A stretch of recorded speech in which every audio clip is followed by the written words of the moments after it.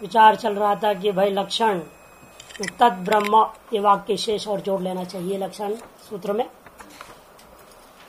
जो जन्म स्थिति और भंग एतादृश जगत का जिससे होता है, जिस सर्वज्ञ से, सर्वशक्तिमान से होता है, वह ब्रह्म है।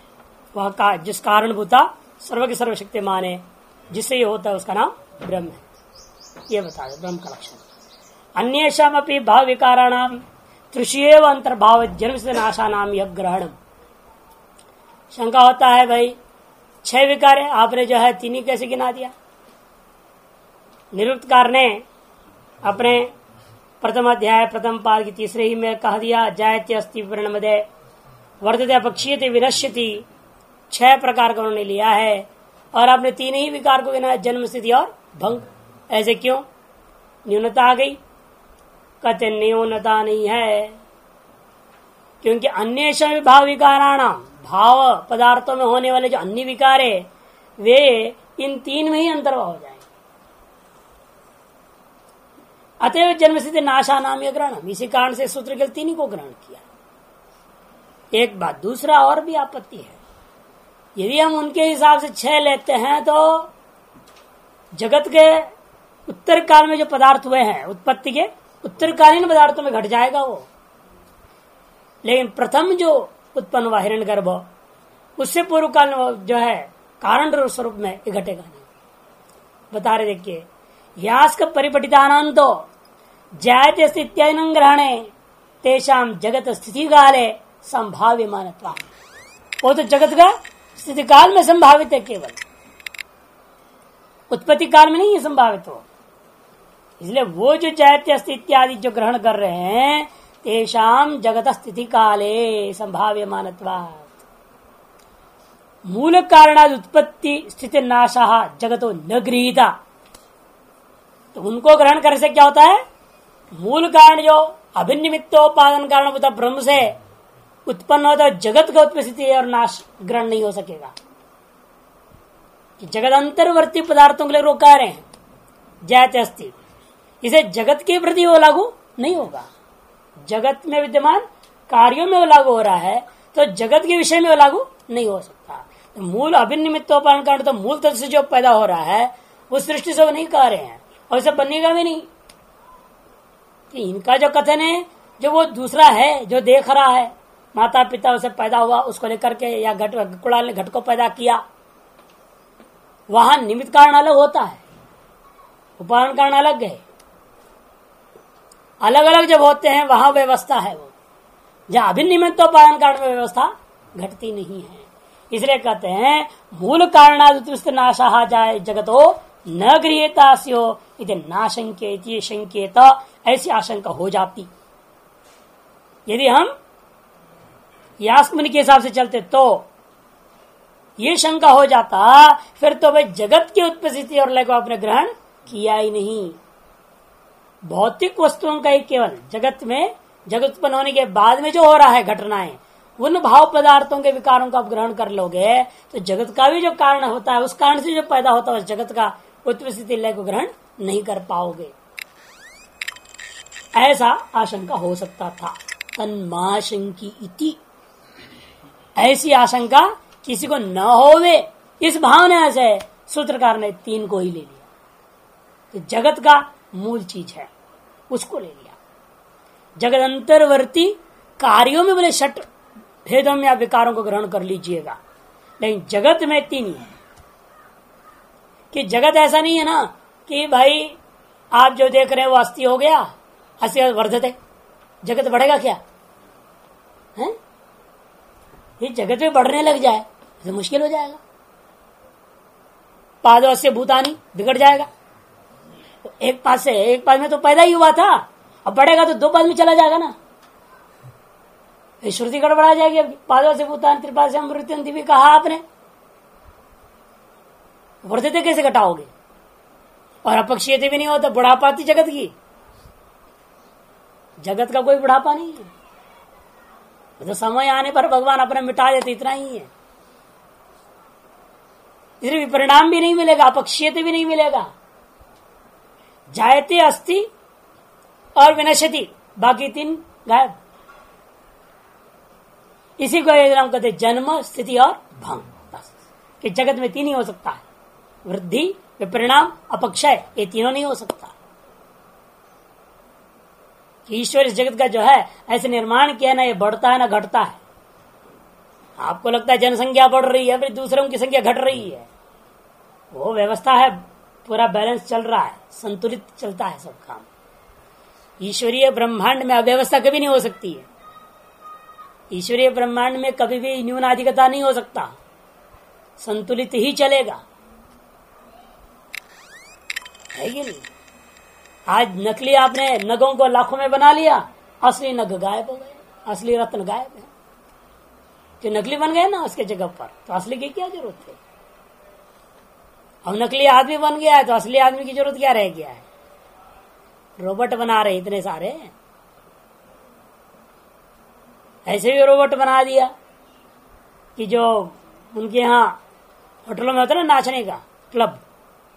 और क्लब डांस में जिसको कोई लड़की पसंद नहीं है तो रोबोट को लेके नाचो बोला। रोबोट लड़कियाँ बना दी नाचने के लिए। वो नाचती हैं रोबोट लड़कियाँ। बताओ। तो असली लड़की की ज़रूरत क्या रहेगी उत्पत्ति की ज़रूरत रोबोट तो गर्भ धारण नहीं कर सकते ना। पैदा तो कर नहीं सकते। तो इस तरह से जब जितना आप अन्य चीज़ों को लेते हैं तो मुख्य चीज़ें लीन होती है। इसका मतलब ये संतुलित है ना, लेकिन चीज़ तो वही है। लेकिन संतुलित होकर सारी चीज़ें विद्यमान होती है।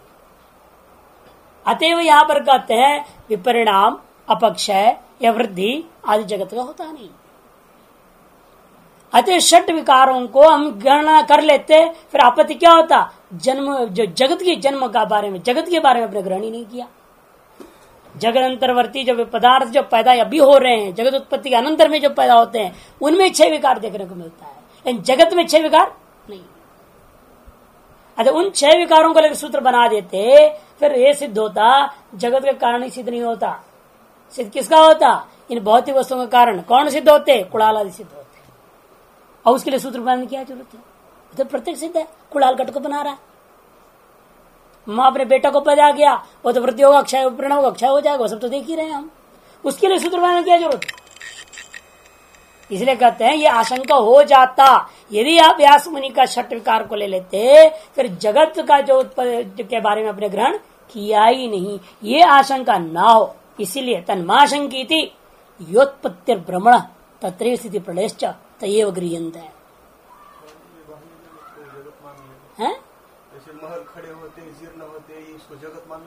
जगत कार्य ही है, ये जगत थोड़ी है। जगत के अंदर हो रहे हैं। अब आपने मकान खड़ा कर दिया, कहाँ से लाया मकान को? जगत के बाहर से लाए हो। ईंट कहाँ से आई? यहीं का मिट्टी तो था वो। यहीं के तो पत्थर लगे, यहीं को लोहे लगे, कहाँ के कहा हुए? तो परिणाम तो हुआ, एक आकर, दूसरा आकार हो गया। बड़ा कहा, घटा कहा? इसे तो घट का दृष्टान दिया। अरे मिट्टी घड़ा हो गया तो क्या नई चीज़ हो गई जगत? मिट्टी तो है अभी। कुछ और आ गया जगत में? आकार सन्निविशेष मात्र तो बदला, कि जगत बदल गया? जगत का मतलब क्या? पाँच भौतिक होनी चाहिए। उसे अतिरिक्त कुछ हो तो बताओ। क्या बढ़ रहा है? घट रहा है। एक सौ से दूसरा सौ बदल गया। इसे तो हमने कहा, जनसंख्या बढ़ रही है बोलते, कहाँ बढ़ रही है? मछलियों की संख्या घट गई। वेल मछली मिल नहीं रहा है। मगरमच्छ घट गए, शेर सिंह घट गए, हिरण घट गए, उनकी संख्या घट रही है, सब यहाँ मनुष्य हो गए। व्यवस्था तो चल ही रहा है। आप कीड़े मकोड़ को मार देते हो, महात्मा बनेगा। भाई, महात्मा के हाथ से किसके कल्याण हो गया है तो उसका तो उद्धार हो गया। तो मनुष्य बनेगा, वेदांत पढ़ेगा वो। इसलिए मनुष्यों की संख्या बढ़ती जा रही, क्या करे? अन्यों की संख्या तो घट गई तो संतुलन तो सभी का हो रहा है। असंतुलित कहाँ है? कुछ भी नहीं। किसमें? गजत में नहीं ले जा सकते। क्यों? हाँ पदार्थ से तो जगत नाम है ही नहीं। यही हाँ। अभी लेकिन कारण में नहीं हो सकता ना जो कार्य का धर्म कारण में आ गया फिर तो कारण ही नहीं है। क्या बात कर रहे हो? इतने न्याय वगैरह पढ़ करके बात बोल रहे हो? नहीं नहीं नहीं कार्य का धर्म कभी कारण में नहीं कारण का धर्म कार्य में कहा गया है। कहीं भी ऐसा नहीं बोला कोई भी दर्शनकार नहीं मानते दुनिया में कि कार्य का धर्म कारण में घुसा दो। ऐसा कभी नहीं होता। नहीं तो फिर कार्य कारण भाव भी खत्म हो जाएगी। नहीं, भिन्न नहीं है का तात्पर्य क्या है? कारण दृष्टि भिन्न नहीं है। कितने बार पढ़ चुके हो? छांदो के पचासों बार बोल चुके हैं। फिर तो जगत और ब्रह्म एक हो जाए, फिर जगत को ब्रह्म के साथ जोड़ दोगे। फिर जगत अनित्य तो ब्रह्म अनित्य हो जाएगा। पचासों बार बोल चुके हैं, मिट्टी का से घट को हम कहते कारण से अनन्य है। घट का से मिट्टी घट से अनन्य नहीं है। कार्य अनित्याधिकरण आएगा यहाँ पर। ये तो वेदांत में भ्रांति होता है इसलिए लोग तो जगत को सत्य बोल दिया। फिर तो आपके सबसे ठीक है वो तो। ब्रह्म सत्यम, जगत सत्यम। जीवायु मिथ्या है फिर तो। है या नहीं? उल्टा धंधा चलेगा। इसलिए कार्य का धर्म को कभी कारण में नहीं डाला जाता है। कारण का धर्म कार्य में है। इसीलिए कहा गया कि कारण कार्य से अभिन्न है। अभिन्न तो कथन का तात्पर्य कार्य का नाश होने के बाद वो कारण ही रह जाता है। इसलिए अभिन्न कहा जाता है। इसका मतलब नहीं कि कार्य का जो जो धर्म सब कारण में आ गया। ऐसा कभी नहीं। कहीं भी ये बात नहीं आती कार्य का धर्म को कारण में। कभी नहीं। कोई भी दर्शनकार नहीं मानते। मान लिया तो कार्य कारण भाव ही खत्म हो गया। इसे कारण से जब कार्य पैदा होता है, कार्य का अपना एक विलक्षण धर्म होता है और कारण का सभी धर्म उसके अंदर होते हैं। ये माना गया। अतएव तो जगत का अभिन्न निमित्त कारण ब्रह्म बोलते हैं, समझाने के लिए तो। फिर वास्तविक धर्म क्या बोलता है जगत पैदा ही नहीं हुआ। तो ब्रह्म कहाँ से कारण होगा उसका? ये तो समझाने की प्रक्रिया है। जैसे मिट्टी से घड़ा पैदा ही कहाँ हुआ? पैदा हुआ ही नहीं। मिट्टी तो है अभी भी। अब एक लौकिक दृष्टिकोण से, व्यवहार दृष्टिकोण से आप कहोगे, भाई मिट्टी से मैं पानी ला पा, नहीं पा रहा पा रहा था, अब घड़े से मैं ला पा रहा हूँ। इसलिए घट कार्य है मिट्टी कारण है। इसका मतलब व्यावहारिक दृष्टिकोण से क्रियान्वय को लेकर के आपने सब भेद कर दिया है। वास्तव में क्या है? अभी मिट्टी है। घट बना कहा? मिट्टी के अलग कोई घट हो तो बताओ। है ही नहीं। बस आकार विशेष बदल गया। उस आकार विशेष को आपने कार्य नाम दे दी। और इसे क्रिया विशेष के साथ संपादन हो रहा है। और जो कारण स्वरूप में जब था, उस रूप में आप मिट्टी जल आने आदि नहीं कर पाते थे। इतने मात्र से हम भेद भी मान रहे लेकिन भेद भी केवल व्यावहार दृष्टिया। पारमद्र के दृष्टिया मृत्या का इत्यव सत्यम। इसलिए मृत्यु का इत्यव सत्यम। इसलिए हमेशा ध्यान रखना है कि कभी भी भूल से कारण का धर्म को कार्य में जैसे लाते, कार्य का धर्म को कारण में ले जाना नहीं है। अनन्यत्व को समझना है। नहीं तो ये परमानंद भारतीय था ना, जिसने वेदांत प्रबोध लिखा इतना मोटा सा पुस्तक और कह दिया। ये सब वेदांति कोई समझा ही नहीं, शंकराचार्य भी ठीक, शंकराचार्य के बात को आप नहीं समझ रहे। वही समझा अकेला, आज तक दुनिया में। शंकराचार्य जी क्या बोल रहे हैं? और कह रहे हैं कि जगत सत्य। यही शंकराचार्य ने प्रतिपादन किया, बोल रहा है वो। वाक्य सब उल्टा पलटा कर दिया। हमने लिख के दिया, एक बात को छोड़ गए तेरा सारा पुस्तक में सब गलत ही गलत है। शिवान जी पढ़े भी उसको हमने, लिख के दिया जो कन्नड़ में सब। अब क्या करें? ऐसे लोग हैं ना, उल्टा सोचने वाले। अनन्यत्व का तात्पर्य ग्रहण करना चाहिए, किस दृष्टि से कहा जा रहा है। और वह दृष्टि में क्यों अपनाया गया है? आपको ब्रह्म को समझाने के लिए। लक्ष्य ये हमें नहीं है कि जगत और ब्रह्म को अभेद सिद्ध करना।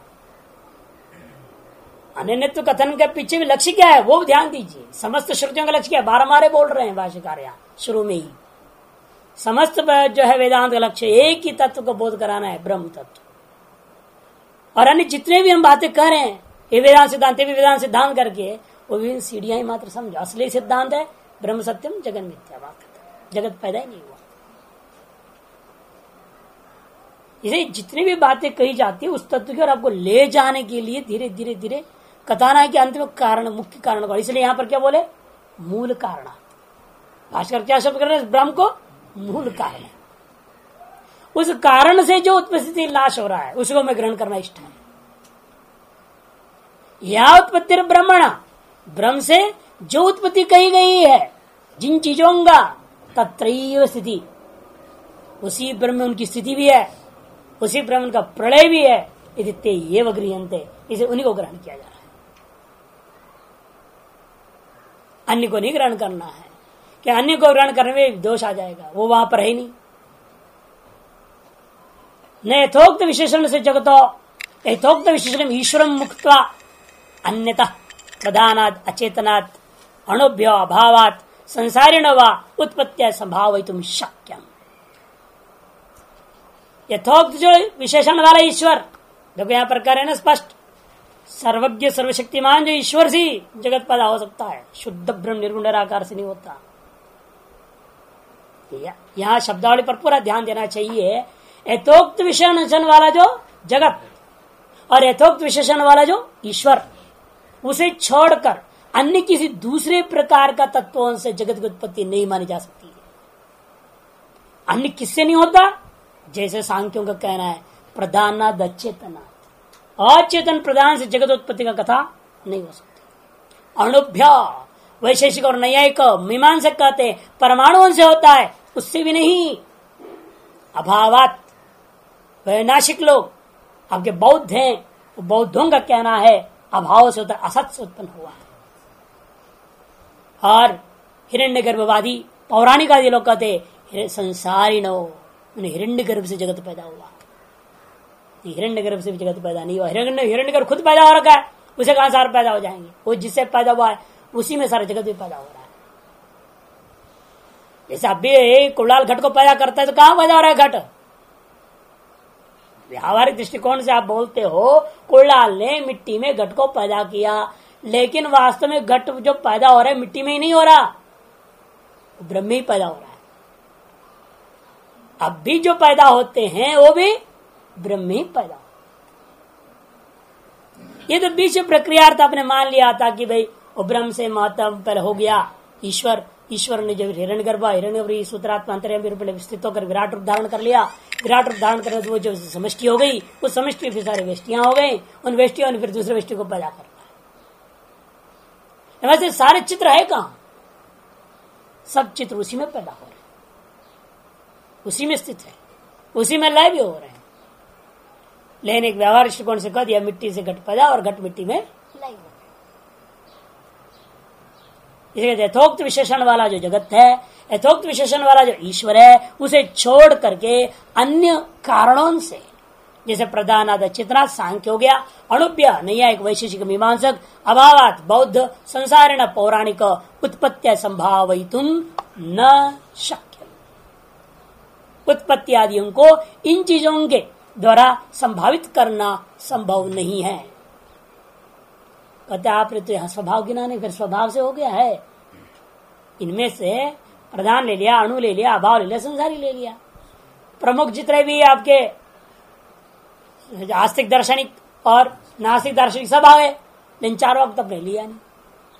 अलग से लेते जान करके, न स्वभाव स्वभाव से अपने आप हो गया पृथ्वी जल तेज भाई चारों, वो अपने आप मिश्रण भी हो जाते समय से अपने आप टूट भी जाते समय पर। बिना कोई नियंत्रक का सब चलता है स्वभाव से, स्वभाववादी लोग। निज स्वभाव चार वाक्य स्वभाववादी। ऐसा भी नहीं कह सकते, क्यों? पूर्व हेतु दोबारा याद दिला रहे विशिष्ट देश काल निमित्ता नाम यह उपादान किसी भी चीज़ की उत्पत्ति, स्थिति और नाश के पीछे विशिष्ट देश, विशिष्ट काल, विशिष्ट निमित्तों का यहाँ पर इस जगत में ग्रहण किया जाता है। इस स्वभाव से सब कुछ होता तो इनको ग्रहण करने की ज़रूरत क्या? आजकल तो डॉक्टर डेट और टाइम भी दे देंगे। अमुक तारीख, अमुक समय को बच्चा पैदा होगा। भले थोड़ा उन्नीस बीस हो जाता है, चार बजे बोल दिया साढ़े चार को हो गया, पाँच को हो गया, तीन को हो गया। लेकिन लगभग सही बोलने लग गए विशिष्ट काल में बोल दिया कि नहीं बोल दिया? और ज्योतिषी विशिष्ट देश में बोल देगा। ये कहा जन्म लेगा बच्चा? ये गर्भ कहाँ जाएगा? कहाँ पैदा होएगा? ऐसे एक गर्भिणी थी, आपके बुलंदशहर के पास। किसी ज्योतिषी ने कह दिया, मानते नहीं रहे लोग। बच्चा यहाँ पैदा नहीं हो सकता। ससुराल वालों को बार बार बोल रहे थे। इसको माँ के भेज दो। नहीं मानते थे। नहीं नहीं करेंगे। अब होता ना घमंड पति का। माना नहीं। हुआ क्या? पैदा होना था कल, और आज का दिन ही वो दूसरे लड़के से भाग गई साथ। गर्भिणी औरत दूसरे आदमी के साथ भाग गई। और ट्रक में आ रही थी, ट्रक में पैदा हो गया। कितना बड़ा आश्चर्य। नहीं है। ट्रक में बच्चा पैदा हो गया भाई। रास्ते में। और इसके शाही यहाँ पर हो। इसी शीशम झाड़ी में अभी भी रहते हैं वो। भगा, भागा के जो लाया था उसके साथ अभी भी रह रही है। अब तो ज्योतिष सही हुआ नहीं। विशिष्ट देश उसने बता दिया तो यहाँ नहीं होगा, अन्यत्र ही होगा, अन्यत्र ही हुआ, ट्रक में हो गया।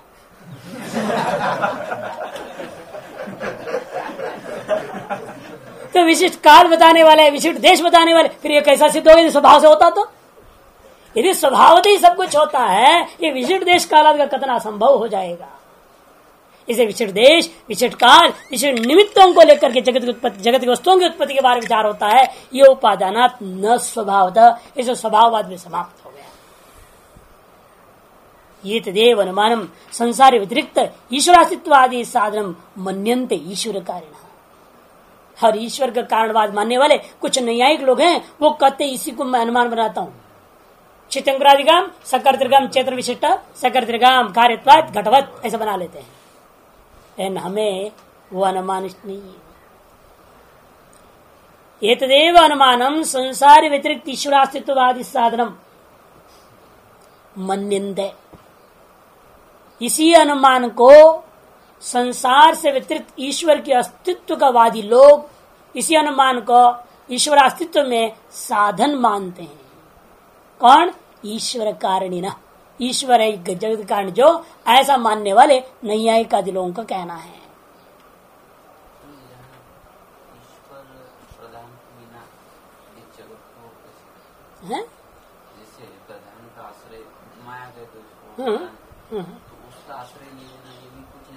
लेकिन स्वतंत्र रहे उनके प्रधान इसलिए खंडन होता है, वो कहते पुरुष से कोई लेन देन नहीं, स्वतंत्र प्रकृति अपने आप पैदा करती है।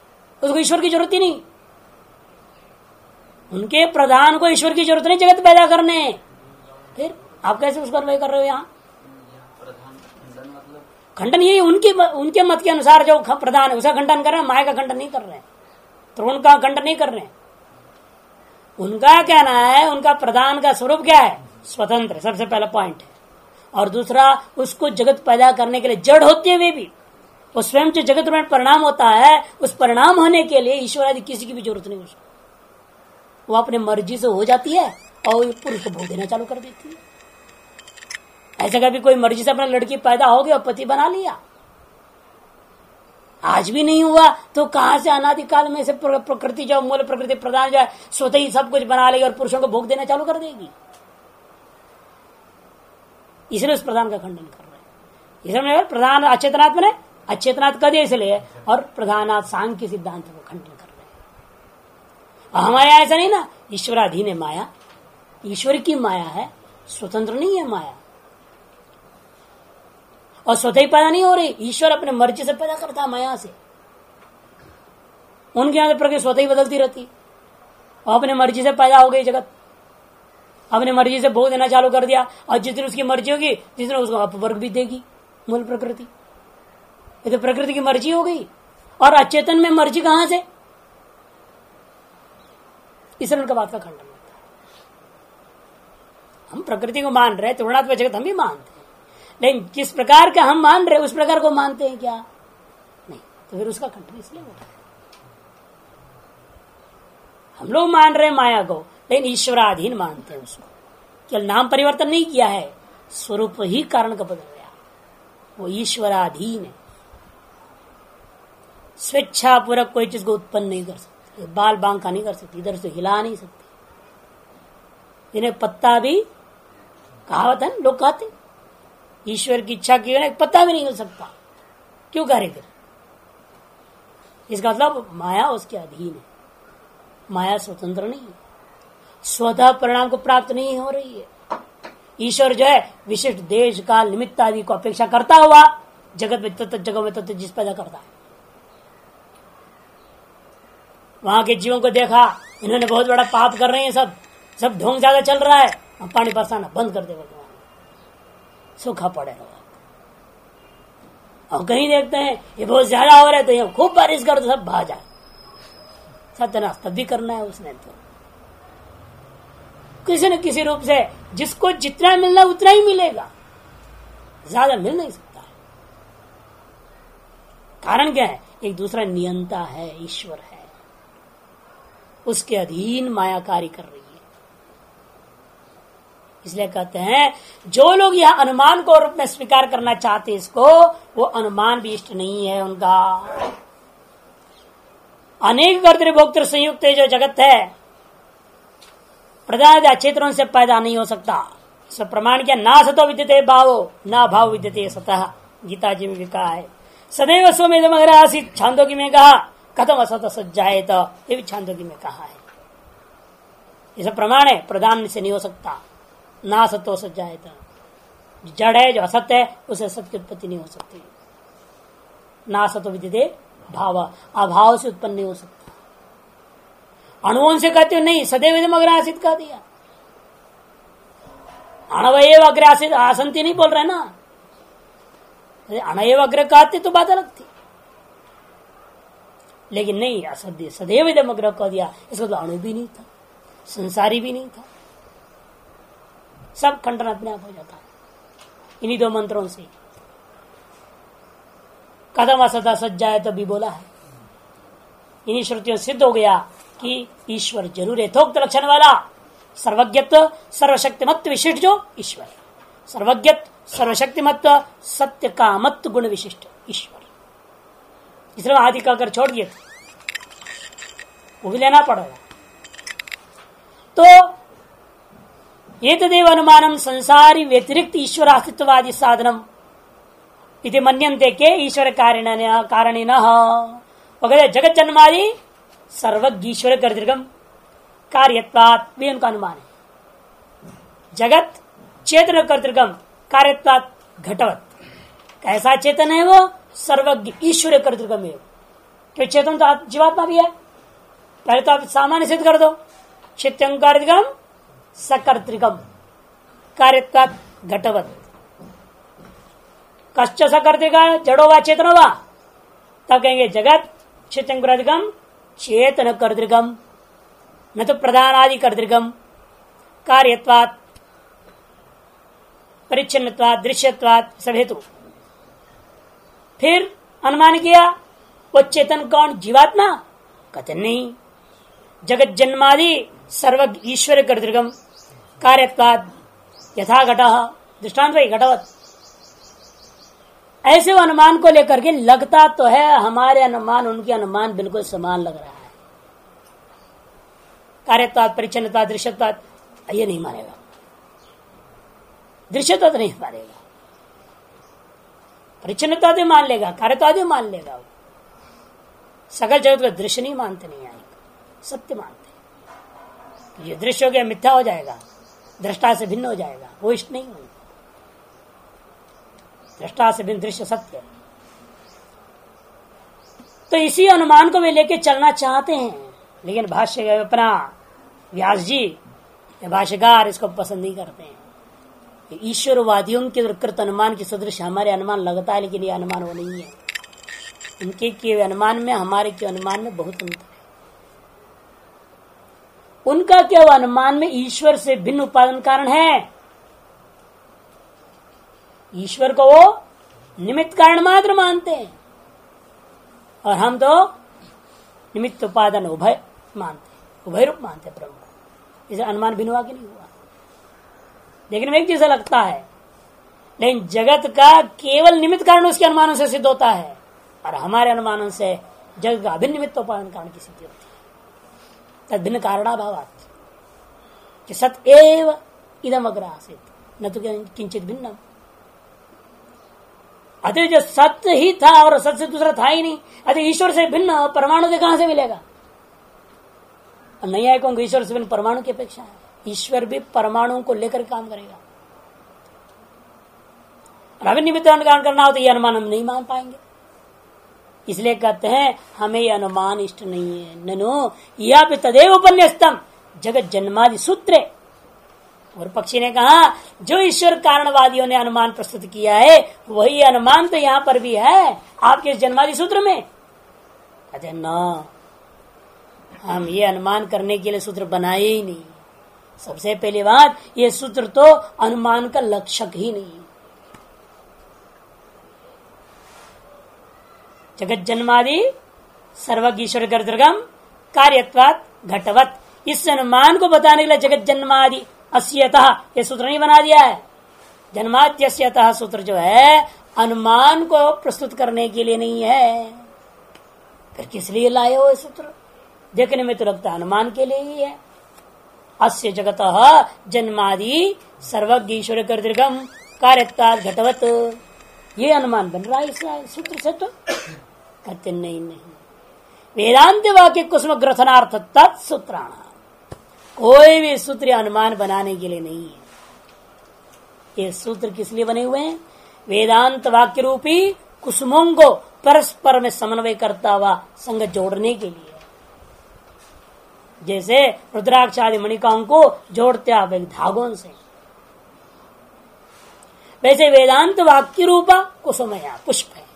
इन पुष्पों को गूंथ करके हमें माला जैसे बनाकर परिपूर्णता को दिखाना है। जीव ब्रह्म गति करानी है। अनुभूति तक ले जाना है। समझाते समझाते समझाते आपको अनुभूति तक पहुंचाना है। उसके लिए ब्रह्म सूत्र बना है। न कि कोई अनुमान ऐसे किसी तत्व को सिद्ध करना इष्ट नहीं है। इसलिए कहते हैं, वेदांत वाक्य कुसुम ग्रथनार्थत्वात् सूत्राणाम जितने भी सूत्र हैं 555 सूत्र पढ़ने जा रहे हैं, चार अध्याय सोलह पादों में तो ये 555 सूत्र एक तरह से पाँच सौ छप्पन फूलों को जोड़ने के लिए। है कि नहीं? गांठ लगेंगे ना पाँच सौ छप्पन के जब पाँच सौ पचपन गांठ लगेगा। कहते ऐसा ये विलक्षण सूत्र है तो वेदांत वाक्य रूपी कुसुमों को परस्पर समन्वय करके ब्रह्मावधि कराना हमारा लक्ष्य है, अनुमान के लिए वेदांत वाक्यान ही सूत्र उदाहरित विचार थे, क्योंकि हम यहाँ पर सूत्रों के द्वारा क्या करने जा रहे हैं? वेदांत वाक्यों को उदाहरित करके उस पर विचार करने जा रहे हैं। इसलिए पहले भी कहा था ना, तद जिज्ञास उसे ब्रह्म जिज्ञासा पर उसी प्रकार यहाँ पर भी कहा था, जन्मादस्य यथा यथोवाईमानी भूतानी, परस्पर संवय हो जाता है। इस प्रकार से सूत्रों को वेदांत वाक्यों का ग्रथन करने के लिए प्रयोग करना है। और ग्रथन केवल ही नहीं करना चाहते हम। साथ साथ उन वाक्यों को वास्तविक अर्थ का निर्णय करने के लिए विचार करना चाहते ये तदर्थ इन सूत्रों का आरंभ किया गया है। न कि पर पक्षी अनुमानों का समर्थन करने के लिए नहीं है। ये ध्यान रखना है। किसी अन्य पक्षादियों का अनुमान आदि का समर्थन में हमारे सूत्र अनुमान को प्रस्तुत नहीं करता है। हमारे सूत्र केवल वेदांत वाक्यों को उदाहरित करता हुआ उन पर विचार करने के लिए। क्यों विचार करना चाहते हो? वाक्यार्थ विचारणा अध्यवसा निवृत्ता ही ब्रह्मावगति ही। क्यों वाक्यार्थ के विचारों के द्वारा। जो वाक्यार्थ का विचार है, वाक्यार्थ विचार द्वारा निश्चित अध्यवसान निवृत्ता निश्चित तात्पर्य से ब्रह्मावगति ब्रह्मावगति निवृत्ता तब जाकर ब्रह्मावगति आपको अनुभूति जो है, होने लगती, निष्पन्न होती नानुमान आदि प्रमाणांतर निवृत्ता और ब्रह्मावगति जो है, अनुमान आदि प्रमाणांतर से सिद्ध होने वाली वस्तु भी कि तंत उपनिषदम पुरुषम वेद। वो तो उपनिषद वाक्यों के द्वारा ही वेद्य ना? अन्य अनुमान आदियों के द्वारा ब्रह्मावगति हो ही नहीं सकती है। अनुमान आदियों के द्वारा ब्रह्मावगति असंभव है। नानुमान आदि प्रमाणांतर निर्वृत्ता ब्रह्मावगति ही। उसके साथ जोड़े। अनुमान आदि प्रमाणांतों उनसे ब्रह्मानुभूति सिद्ध नहीं हो सकती है। किंतु किससे होगी फिर सत्स तो वेदांत वाक्य जगत जन्मादि कारण वाशु तदर्थ ग्रहण दाढ़िया अनुमानम वेदांत वाक्य अविरोधी प्रमाण भवन न निवार्य थे शंका होता है, इसका मतलब क्या आपके वेदांत दर्शन में अनुमान का कोई स्थान ही नहीं? प्रत्यक्ष कोई स्थान ही नहीं?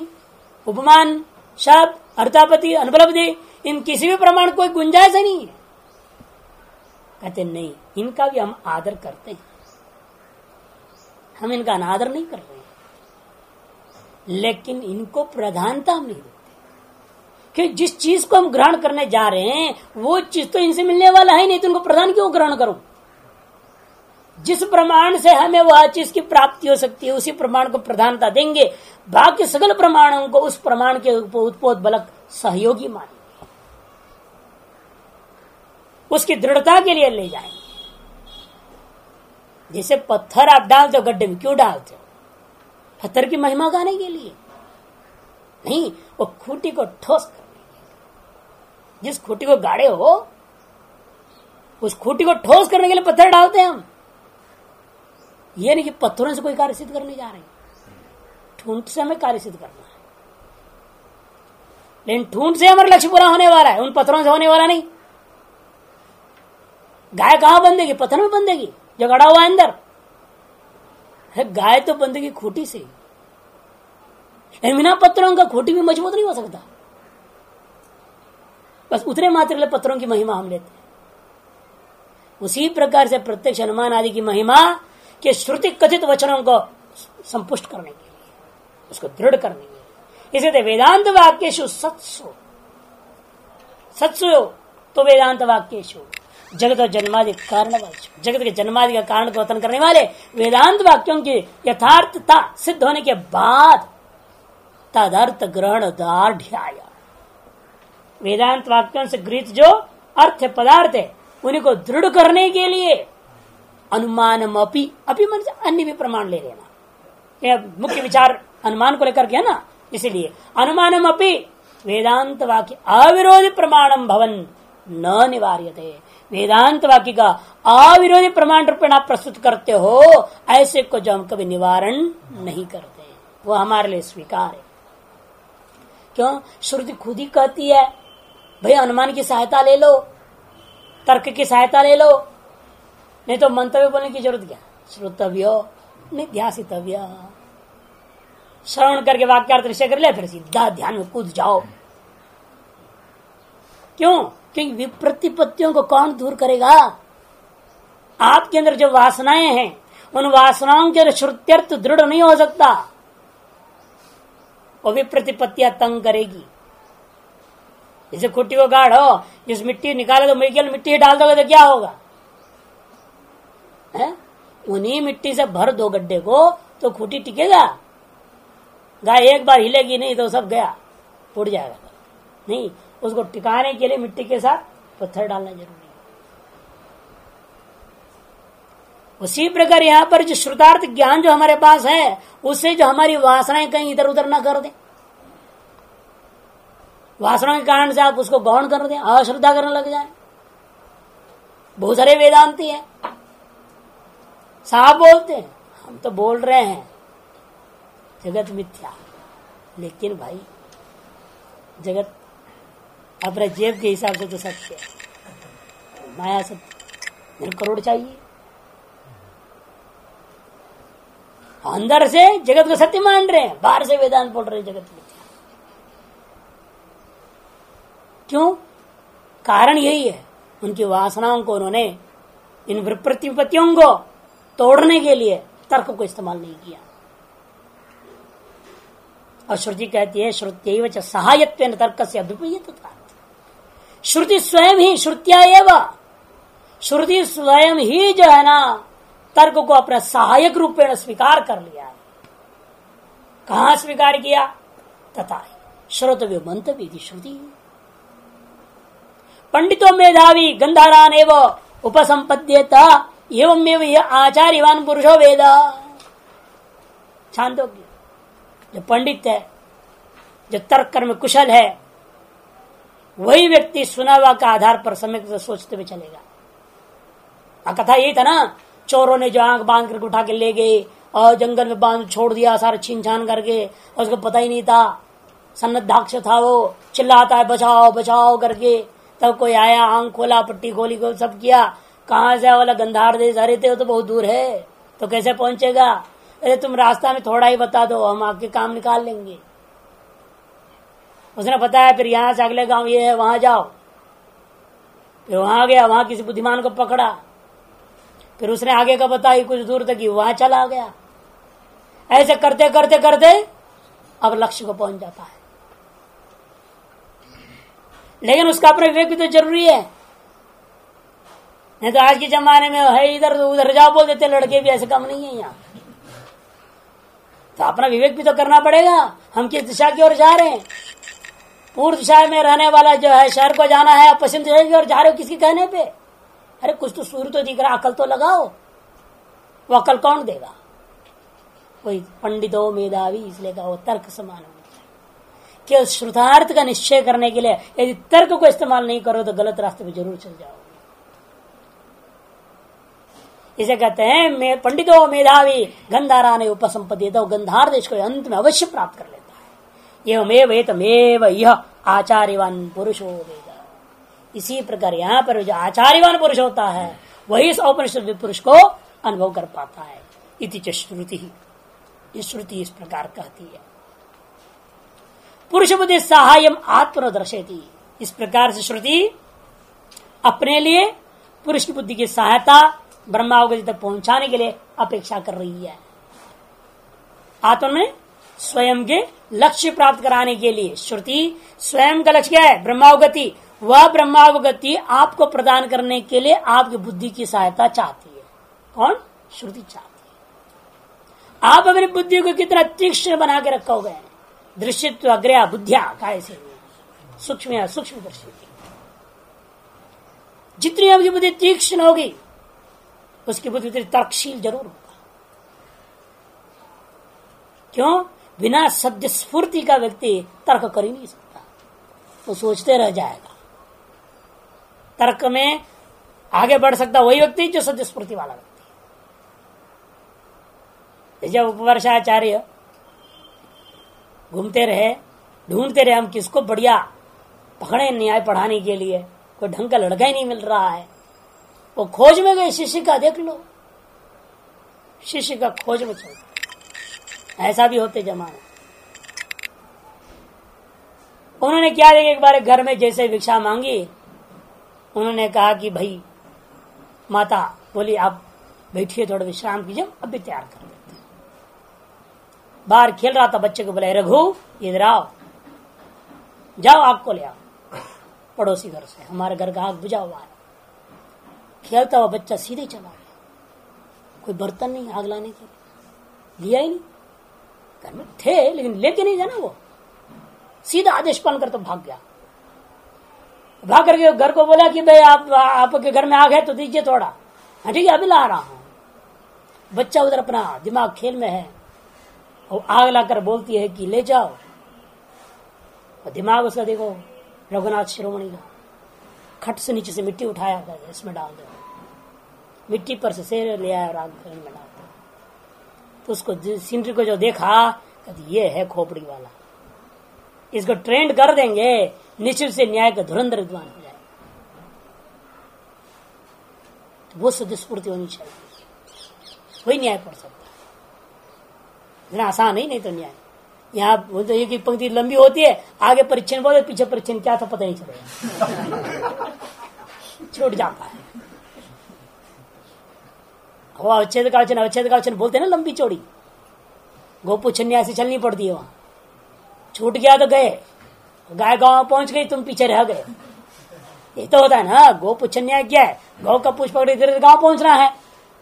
अरे आप गप्पू, छूट गया, हाथ तो क्या हो जाएगा? गाय तो पहुँच जाएगी, और दो रह गया जंगल। वही हालत वहाँ पे है।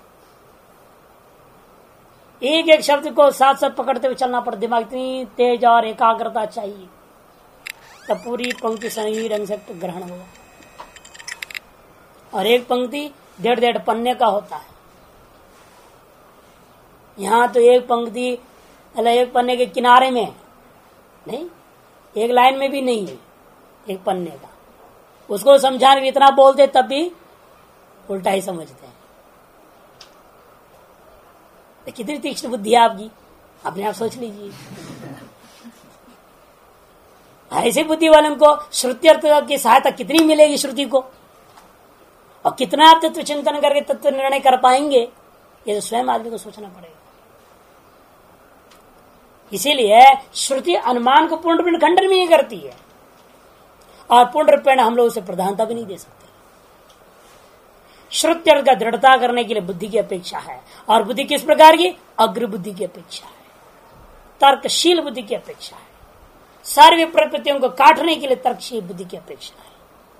इसलिए कहते हैं, पुरुष बुद्धि सहायम आत्मदर्शेती श्रुति। श्रुति जो है, स्वयं के कथित वचनों को अनुभव तक पहुँचाने के लिए बुद्धि की सहायता मांगती है, मानती है। क्यों? क्या ज़रूरत है? क्योंकि जो है ना, शास्त्र कर नहीं सकता, बुद्धि करती है ना। बुद्धि में करने का सामर्थ्य शास्त्र में करने का कोई सामर्थ्य शास्त्र तो ज्ञापकम न कारकम और शास्त्र जिस चीज़ को ज्ञापित कर, उसको अनुभव करना तो बुद्धि का काम है। अरे, बुद्धि आपकी सही नहीं है तो अनुभव कैसे करेंगे? इसलिए शास्त्र जो है, पुरुष की बुद्धि की सहायता अवश्य लेती है, आपको ब्रह्मावगति तक पहुँचाने के लिए। इसलिए अंतर बहुत है, धर्म जिज्ञासा और ब्रह्म फिर लौटते उसी में। न धर्म जिज्ञासा श्रुत्य देव एव प्रमाणम ब्रह्म जिज्ञासा इसलिए ब्रह्म जिज्ञासा में केवल श्रुति मात्र प्रमाण है, ऐसा कभी रटना नहीं। धर्म जिज्ञासा में जिस प्रकार श्रुति एकमेव प्रमाण होता है, पुण्य पाप के प्रति, और कोई प्रमाण नहीं तस्मात शास्त्र प्रमाण कार्य वस्तु इसलिए कह दिया भगवान ने, और कोई रास्ता नहीं। लेकिन ब्रह्म जिज्ञासा में ऐसी बात नहीं, क्योंकि आपका स्वरूप ही है। वो आपके स्वरूप को आप अनुभव कर रहे हैं, उसके लिए शास्त्र क्या ज़रूरत है? आप अपने अनुभव कर लिया शास्त्र निरपेक्ष भी अनुभूति हो सकती है ना अपने स्वरूप का। जो नहीं कर पा रहा उसके लिए शास्त्र की लाठी की ज़रूरत है, सहायक है, बैसाखी की ज़रूरत है। सबको बैसाखी की ज़रूरत नहीं क्या दुनिया में? आप चलते हो? क्या हाथ लगा करके चलते हो? जिसको एक्सीडेंट हो गया, पर लंगड़ा गया, फ्रैक्चर हो गया, वही ना बैसाखी के लेके चलेगा। सबको ज़रूरत नहीं है। इसे सभी जो सर्व समर्थ अंतकरण परिशुद्ध जिसका तो शर्तों की अपेक्षा ही नहीं स्वरूपानुपति सीधी हो जाती वो थक थक आँख बनता भी है, बाँध भी लिया, इतने में उसका अनुभूति आवृत चक्षु कश्चित धीरा। लेकिन यहाँ उल्टा है। एक्सीडेंट वालों की संख्या कम। और दोनों पैर से चलने वाली संख्या ज़्यादा है। है या नहीं? लेकिन श्रुति में ऐसा नहीं। कश्चित धीरे ही होता है, स्वतः चलने वाला और सब बैसाखी वाले ही होते हैं, जिनका श्रुति की अपेक्षा होती है। श्रुति अनुमान आदि की सहायता को लेकर चलने वाले अधिक हैं और स्वतंत्र रूप में स्वानुभूति पर चलने वाले केचित हो। कोई केचित भी नहीं, कश्चित होते किंतु श्रुत्यादि अनुभवादि यथा संभव प्रमाणम भवंती किंतु यहाँ श्रुत्यादि ही नहीं अनुभवादयश्च यथा समय प्रमाण भवंती यथा समय प्रमाण होते